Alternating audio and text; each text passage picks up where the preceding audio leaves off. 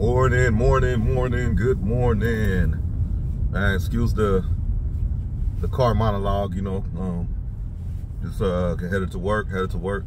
Man, I just saw something um I saw something on ESPN before I was rolling out. Um, just thought I would like um try to catch everybody's thoughts on it. Um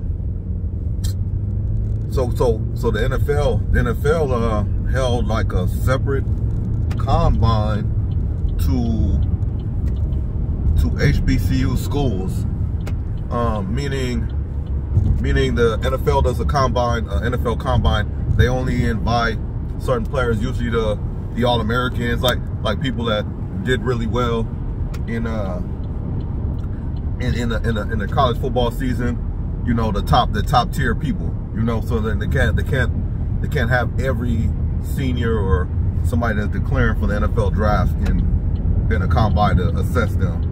So they did they did a separate HBCU combine, which on the surface looks I was like, that's damn good. Um, and I think um, I don't know the ins and outs of it, but but I, I, you know I'm gonna look the details up. But I want I want to ask what you guys think. You know, put it in the comments. But what could be the positives and negatives? What I what I think is that's a great opportunity for a lot of young men that wouldn't probably had got that look. Probably a couple of them, a few of them in there. Now, HBCUs are responsible for a lot of the first pro NFL football um, Hall of Famers, a lot of uh, Hall of Famers. So that's to show, you know, there's talent down there. Um, or when I say down there, there's most mostly the HBCUs are in the South. So you have um and and for for people that put in context that don't know what HBCU is, a historically black college university. So um, you, you, got your Howards, your Morehouses, um, Jackson State, where Deion Sanders was just coaching. You know, um, those type of stuff. Norfolk State, you know, like those those those colleges. You know what I'm saying? Prairie View, um, and yeah, it's not it's talent down there, just like it is anywhere else. You know what I mean? Um, so I think it was a good look, but I wonder what spawned the NFL to do that. That's what I want to know. Like, what what spawned them to? Oh, we got to get out here to the HBCUs.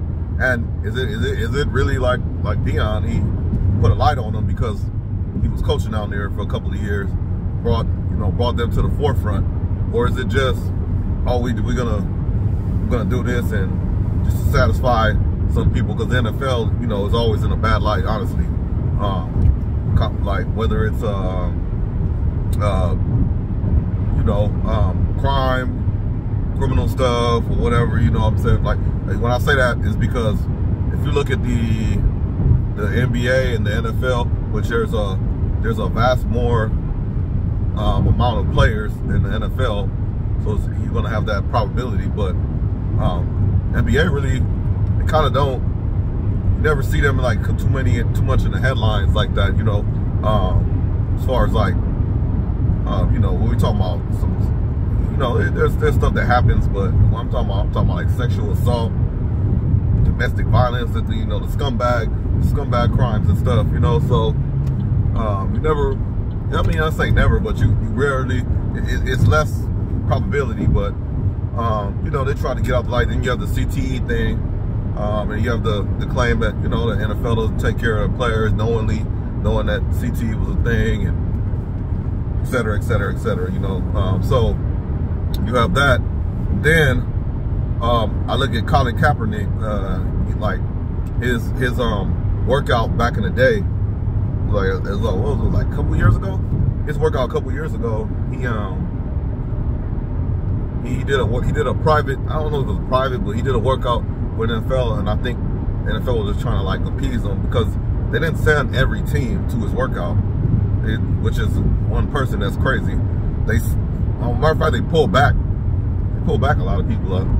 He end up sending like, they got, they up sending like three or four people or something like that. And I don't even know if they were scouts or what, you know. So, and it was like, it was like, made the NFL, to me, it was like, oh, let me get some, um, some service where it makes the NFL look good, and then you're, you're, you, you know, you like, oh, we, we gave Colin Kaepernick a good chance, you know, and move on, but uh, hopefully it's nothing like that because these young men, uh, 47, 47 uh, participants in the HBCU um, combine.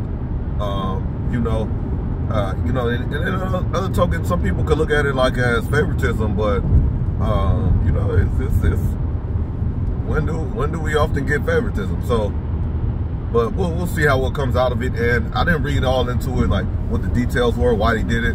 But what do y'all think? You know what I'm saying? I think it's on the surface, looking at it, it's a good thing. We'll see what happens, you know. But man, let me know what y'all think in the comments, man. And you know, it's, it's Tuesday, but it's Monday. You know, boy, still tired. But whatever, we got to get to it. Let's get to it, man. Hopefully y'all have a good day. You know, uh, be safe, take care of each other. You know what I'm saying? And talk to y'all later. You know, long live D-Mac, long live Pooh Bear. Eggwood though.